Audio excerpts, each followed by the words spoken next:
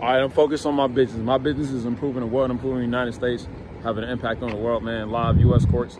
Uh, pulling up to the to the federal building, pulling up to the federal courts, uh, get this trial rolling.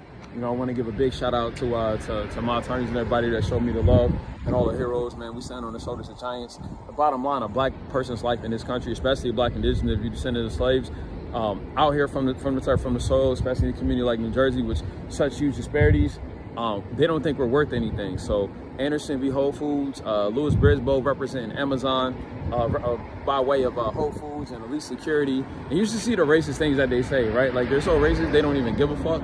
And they don't even think that we're intelligent enough to challenge them. So they say like the dumbest things and then they conspire with, you know, obviously like um, some of the people that make decisions are in concert with them, uh, aiding and abetting this level of criminality in which weaponizes and criminalizes, criminalizes us. And they don't expect us to be intelligent or stand up for ourselves, but we can't wait to go to trial. We can't wait to expose all the BS that they do when they come into communities, how they operate and how they try to cover up on them. So this is for every every time you see a Whole Foods coming to your community or a Whole Patients coming to your community, just be mindful that, okay, who's giving them the money? In the case of Newark, it's Prudential, it's the EDA, it's Goldman, all of them that come in and promise L&M development, we're gonna build this, we're gonna do this, and then we can't even be free in there. They don't respect us, and then when you go through the trial and you see their attitudes and you see what they do and how they cover it up and how they how they move, it's just like they don't value us. They think we're worth nothing. They think we're worth nothing. And then obviously, if you're playing golf with somebody that's pulling the strings behind the scenes in the court, you know what I mean, And it's easy to do that. But uh, you know, again, like y'all business might be selling products, y'all business might be going out, looking the other way, you know what I mean? But my business is perfecting my country. I stand on the shoulders of veterans and people that fought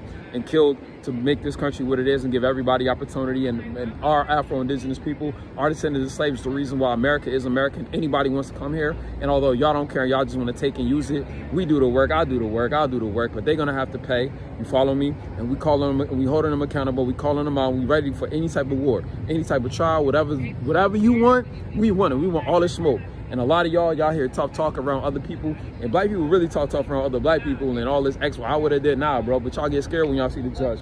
Pricey, when I see the judge, I'm like, what's up? What we doing? Let's go the whole way. I don't want to play. Let's go the whole way. I want all of it, all of it, all of it, all of it, all of it, all of it, all of it. So, uh, Judge Chesler, what's up, man?